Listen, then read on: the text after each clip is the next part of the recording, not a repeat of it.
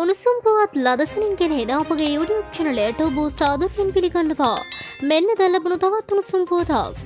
හිටපු මුදල මත්‍යය බැසිල් රාජපක්ෂ ඇමරිකාව බලා පිටත්ව මේ අරමුණින් මේ වන විට කටුනායක ජත්‍යන්තර ගුවන් තොටුපලට පැමිණැති බව වාර්තාාවනවා.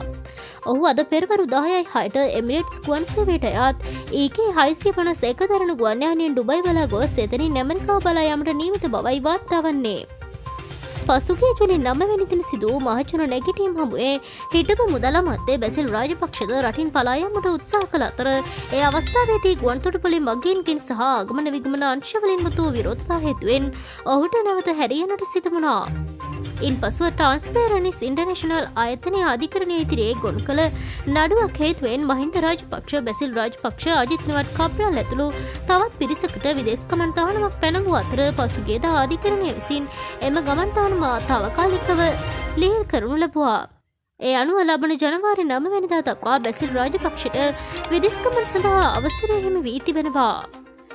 මීට පෙරද මේ ආකාරයෙන්ම අධිකරණය හමුවේ චෝදනාවන් ගොනු කර තිබූ හිටපු තනපතිවරයෙකු වන උදයංක වීරතුංග මහබැංකු බැදුම්කර වංචාවට වග උත්තරකරුවෙකු වූ අර්ජුන් මහින්ද්‍රන් වැන්නන්ද රටෙන් පිටව ගොස් මෙරට මිත් නීතිමය ක්‍රියාමාර්ග මගහැර සිටි අතර උදයංග වීරතුංග වාසරක කරනාවකට පසු නැවත දිවනයට පැමිණියද සිංගප්පූරුවට පලාකිය අර්ජුන් මහින්ද්‍රන් මෙතෙක් දිවයිනට පැමිණෙන හැ. මෙවැනි උසුම් පුවත් ලදසනින් දැන ගැනීමට අපගේ YouTube චනලය සබස්ක්‍රයිබ් කර බෙල්ල එකන ක්‍රියාත්මක කරන්න.